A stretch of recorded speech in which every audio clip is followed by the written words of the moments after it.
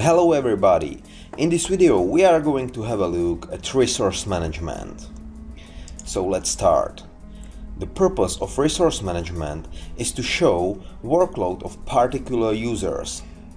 So let's have a look here at Jeff Collins. Here are the tasks assigned to particular users and the tasks have some estimated time for its realization and due date.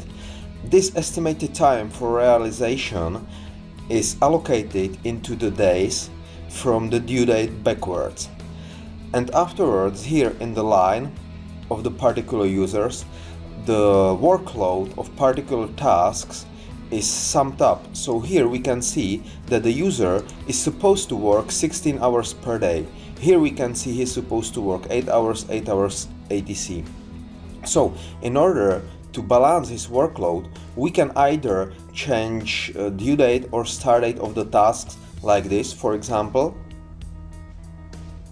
or we can grab a task, task and assign it to another user, like this, for example. We can also uh, modify estimated time for realization by clicking on this time here and here we can write another number, another time estimate. We can also manually change uh, the time allocation for particular dates uh, by double clicking on the task like this and here I can write he's supposed to work just 2 hours on this task and this particular date. The rest of hours is allocated on the preceding day. Uh, in resource management, we can also see unassigned tasks within the system. These unassigned tasks have an uh, estimated time for realization as well, and we can assign them to users via drag and drop, like this for example. And here is the task assigned, and we can move it where we need it. Uh, you can also display uh, this resource management in full screen, clicking in this button here and you can also apply any filters above resource management. So for example, we can filter by user selection. So you can say you want to see only these particular, particular users within the resource management or you can apply any filters relating to tasks.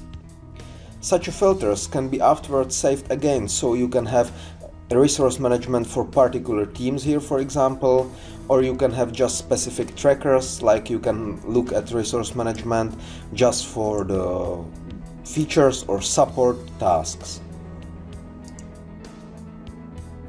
In the resource management you also see whatever user is available or not. For example here you can see that Vojta has a holiday because it's Christmas time and here he has vacation.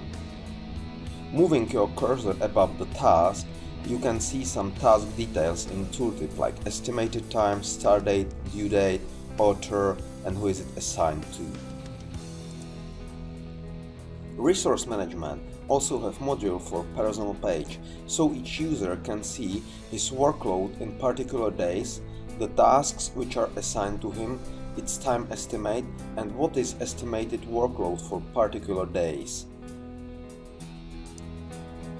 Resource management can be also utilized on project level, for example in Quick Project Planning.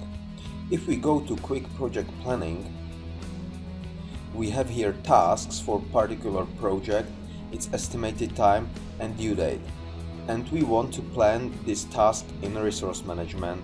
We can click Plan in Resource Management. Here we have resource management just for this particular project.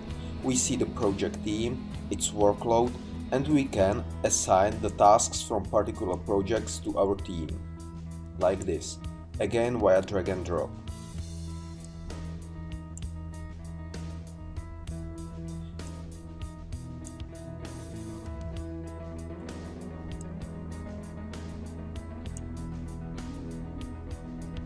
Finally, if we are satisfied with assignment, we can just click save, click save changes and all the tasks are assigned now in particular days. Thank you for watching the video.